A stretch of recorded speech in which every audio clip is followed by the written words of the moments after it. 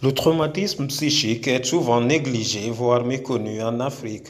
Or, plusieurs personnes sur ce continent souffrent de ce mal passé sous silence. Pour inverser cette tendance, l'ONG Amali a réuni à Conakry ce mercredi 6 juin des psychologues, des psychiatres, enseignants-chercheurs, membres d'ONG, guinéens et ivoiriens, l'ambassade de France, le ministère de la promotion féminine, de l'enfance et des personnes vulnérables de la Guinée et de l'OPROGEM, Office de protection du genre, de l'enfant et des mœurs, pour échanger autour de cette problématique en vue d'une meilleure prise en charge des personnes qui en souffrent.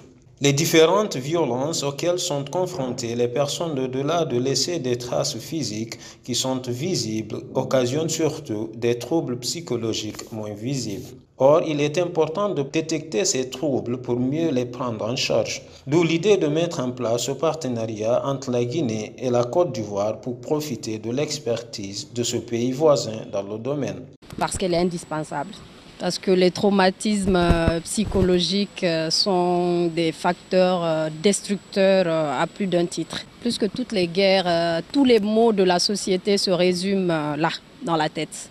Donc quand on ne va pas bien, on ne peut pas être productif, on ne peut pas être heureux, on, ne peut rien faire, on a juste envie de, que la vie s'arrête en quelque sorte. On sait que la Guinée reste quand même un peu euh, derrière euh, les pays comme la Côte d'Ivoire. On ne va pas se mettre à citer forcément les autres. C'est pourquoi on est allé vers eux pour essayer justement de mettre euh, ce partenariat en place pour qu'ils nous aident à améliorer la prise en charge psychologique. Ce partenariat s'établissent, qui se concrétisent et qu'on trouve euh, les, euh, personnes appropriées, donc du corps médical, euh, etc., pour que la formation continue en Côte d'Ivoire, parce que c'est ça l'objectif en fait, en Côte d'Ivoire ou ailleurs, pour que la prise en charge puisse se faire convenablement à partir de maintenant. Le but de cet atelier est aussi d'encourager une coopération sud-sud. Alors dans un premier temps, on accueille ici des, euh, psychiatres et psychologues ivoiriens et ensuite on enverra une délégation euh, guinéenne en Côte d'Ivoire pour euh, voir ce qui se fait concrètement sur le terrain.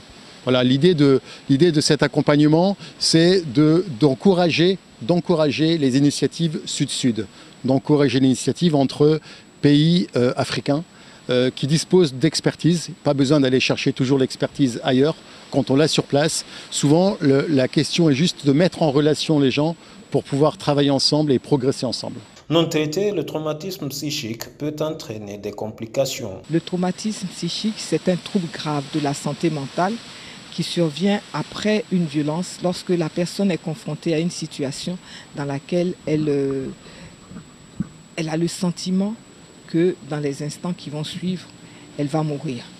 La complication majeure du traumatisme, c'est que ça peut avoir des complications pour la santé de la personne et aussi des complications sociales en termes de troubles du caractère où la personne devient agressive, nerveuse, etc. Et elle peut avoir des comportements qui vont viser à la détruire elle-même comme la consommation de toxiques, d'alcool, de médicaments, euh, qui l'empêchent de penser, c'est l'expression qu'ils utilisent, qui l'empêche de penser, ou bien euh, avoir des comportements antisociaux avec agressivité, etc.